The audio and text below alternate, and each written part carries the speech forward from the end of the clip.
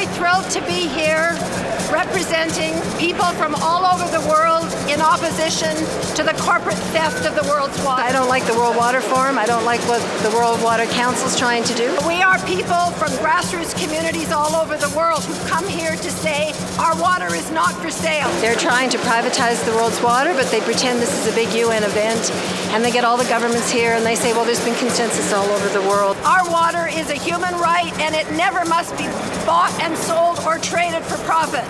Then we're here to say it's a matter of life and death. Our water is not for sale. Gracias.